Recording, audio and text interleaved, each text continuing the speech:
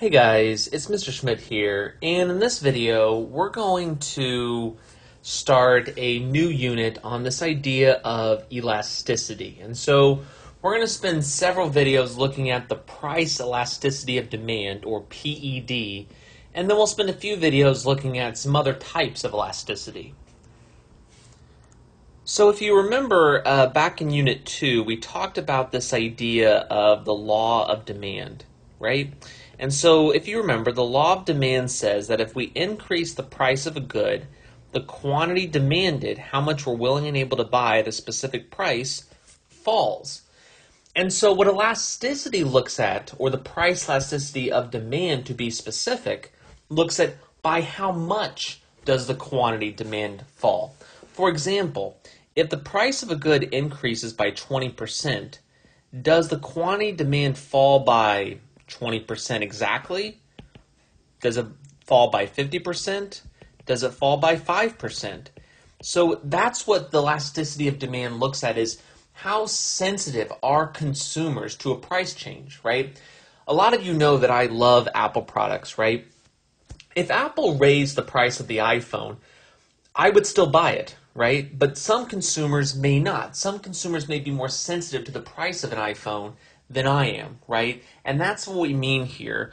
So let's go ahead and define this idea of the price elasticity of demand. So the word elasticity means how um, the responsiveness, I should say, of one variable changing uh, in response to another variable, right? So if variable x changes, by how much does vari- variable y change in response?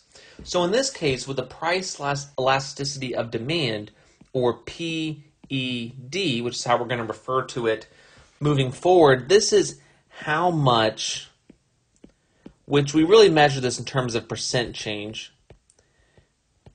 does quantity demand change when price changes right? So that's what the price elasticity of demand does, okay? So basically, excuse me, what we're looking at here is when the price changes, are consumers going to respond in a really big way? Are they going to respond in a small way? Are they going to respond in proportion? What does that mean?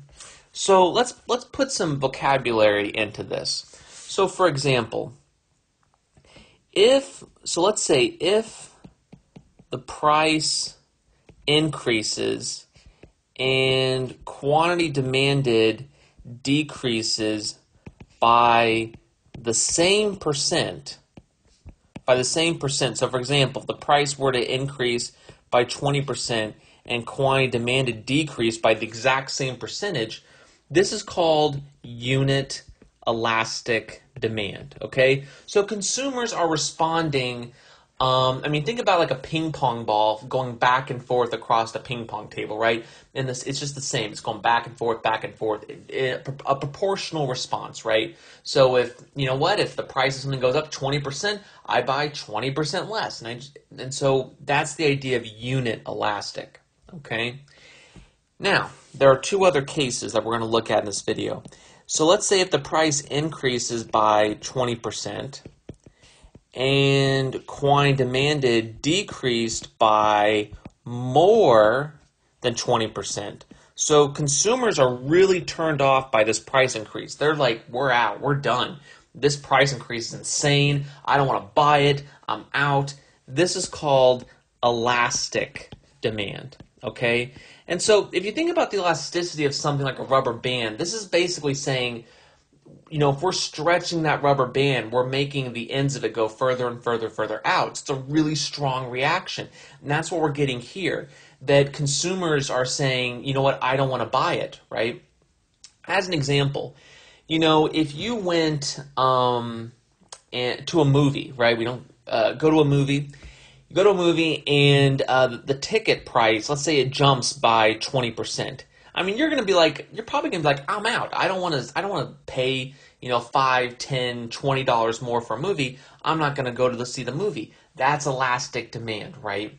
And if you're, and if you're wondering, well, how do we tell if something has is going to have elastic demand or unit elastic demand or the other kind of elasticity of demand we'll talk about in a second. Um, we'll talk about that in, in other videos. For now, it's just the idea that unit elastic is a proportional response by consumers to a price change. Elastic is a out of proportion response to a price change. It's over the top, right? It's a huge reaction. And it would work the opposite way too. That if something went on sale and fell by 20%, consumers are rushing to go get it. They're like, oh my gosh, I gotta go get this. What a deal, what a steal. And so there's a huge reaction to that price change. And then finally, if, so let's, again, let's say if price increased by 20% and quantity demanded decreased by less than 20%, then this would be what we would call inelastic demand. And so basically, this is the idea of someone really not being that sensitive to a price change, right? So again, like me and me and an iPhone is a perfect example. That if the, if Apple raises the price of an iPhone, I'm still going to buy the iPhone, right? Um, whereas some consumers may not. They may have more elastic demand, right? Or consider a necessity like food, right? If if Walmart raises the price of, of food items that you buy, you're probably going to still buy, you know, roughly the same amount, right? Or you're or you're definitely not going to reduce your uh, purchases by more than the price change, right? Because you need food, right? It's a necessity. So elasticity is definitely one of those topics that uh, students really do struggle with. And so what I want you to understand from this video is that elasticity is the sensitivity. And in this case, with price elasticity of demand, it's the consumer's response. How much are they going to change their behavior? To what degree after there's a price change? Are they going to respond directly in proportion, unit elastic? Are they going to really freak out and buy a lot more or a lot less elastic? Or are they going to barely change their behavior? Inelastic demand, right? So that's the idea of elasticity.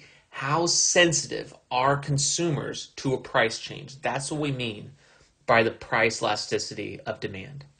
So that's all for this video on the introduction to price elasticity of demand. Until next time, have a great day.